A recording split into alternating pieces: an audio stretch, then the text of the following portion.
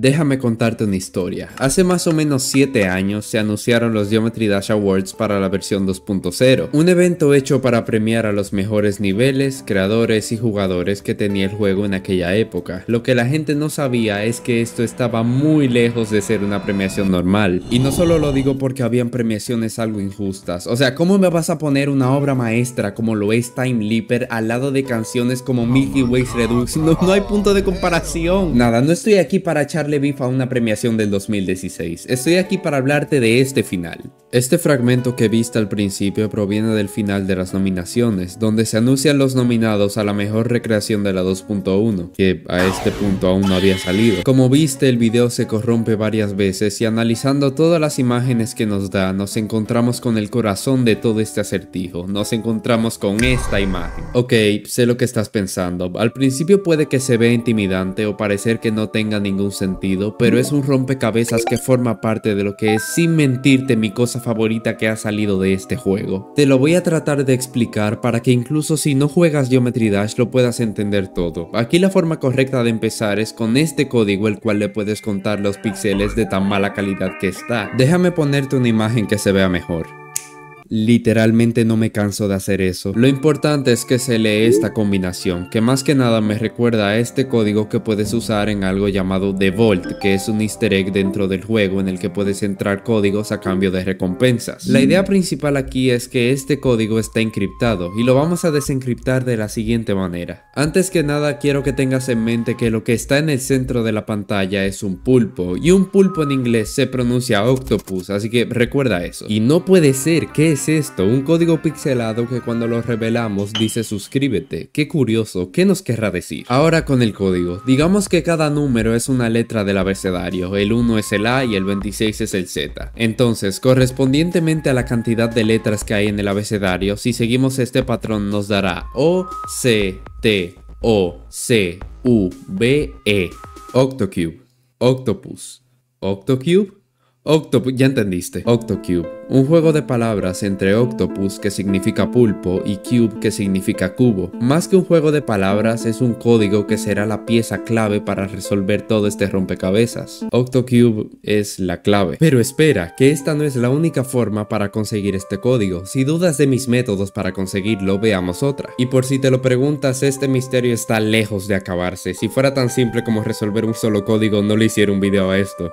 Abajo a la izquierda podemos leer y la forma en la que voy a comprobar que esto dice Octocube es algo confusa así que pon atención. Para resolver esto necesitaremos algo llamado una tabla de cifrado. Hay muchísimas tablas de cifrado diferentes para resolver diferentes códigos que de otro modo no tendrían sentido. Si le aplicáramos el código César a este enigma entonces n valdría 5 por lo que tenemos que reemplazar cada letra con la letra que le corresponde 5 puestos después en el abecedario. O sea que si tenemos esta J, por ejemplo, decimos J, K, L, M, N, O, porque la ñ no se cuenta. Como ves, no lo digo yo, lo dice la ciencia. Ahora, ¿por qué este código Octocube fue tan importante en su época? ¿Qué es lo que lo hace especial? Para ponerte en contexto, necesitamos viajar 7 años atrás, el 26 de noviembre de 2016 para ser más específicos. Nos encontramos en la actualización 2.0 de Geometry Dash, la segunda actualización más longeva que sufrió el juego y sin duda la más desesperante. El juego duró desde 2015 hasta 2017 sin actualizarse y durante todo ese tiempo la gente estaba literalmente babeando por cualquier noticia de la actualización 2.1. Ahora, siendo objetivos, algo que hay que darle a Geometry Dash es que si se tratara de cualquier otro juego literalmente estuviese muerto a la semana. O sea, no sé, siento que los juegos últimamente tienen que tener este estándar de actualizarse cada semana o cada día o si no dicen que el juego está muerto que la comunidad está muerta. Pero volviendo al tema, el 26 de noviembre sale este video y la comunidad explotó. Tengo entendido que este misterio ya estaba resuelto a los 30 minutos de salir. Yo recuerdo perfectamente cuando salió. Yo era un jugador casual que, bueno, no te voy a mentir, sigo siendo uno. Ver a toda esta gente sacando dos y tres videos acerca de este acertijo realmente me cautivó y seguí la historia de cerca en su día y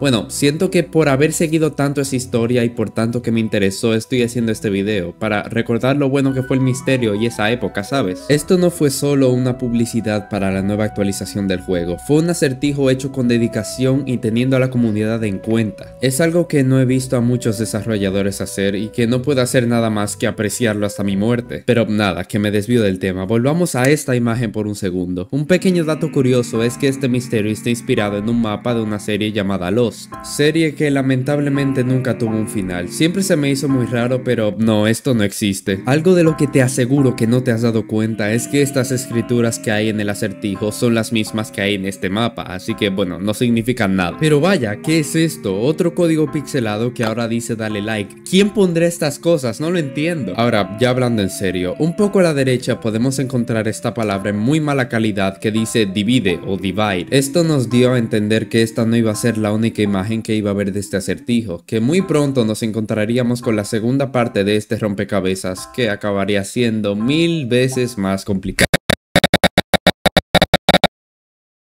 Futuros viajeros, finalmente he escapado de las profundidades del The Vault. Debo advertirte que no fue nada fácil. Temo que simplemente decirte el código en su forma verdadera causaría que alguien destrozase esta nota para siempre. En cambio, te dejo un cifrado adjunto. Espero que con el paso del tiempo no decodifique este mensaje y que si lo hace, confío en uno de mis fieles compañeros para corregir el cifrado y que se asegure de que su solución final permanezca libre. Ten precaución. Firmado por R. ¿Quién es R? Ronald. Esta carta fue publicada luego de que hayan resuelto el acertijo del Octocube y luego de eso tuvimos algo mejor todavía, el 2 de diciembre de 2016. Así es, seis días después de que saliera este misterio, tuvimos finalmente las premiaciones. Es que me emociono de pensar en eso. En estas premiaciones surgieron muchas cosas interesantes que me gustaría cubrir en un video aparte, pero lo importante es, a ver, ¿hay alguna pista del misterio de más atrás? ¿O se olvidaron de eso y actuaron como que nunca existió? Pues pues las premiaciones siguieron y siguieron y siguieron. Mejor nivel automático, mejor jugador, mejor nivel XL, mejor boss fight. A este punto ya llevábamos 4 minutos y medio de video y solo quedaba un minuto para que algo pasase. Y en medio de todo esto nos dimos cuenta de que habían dejado una categoría muy especial para el final y cuando todo el mundo estaba perdiendo la esperanza, apareció la mejor recreación de la 2.1.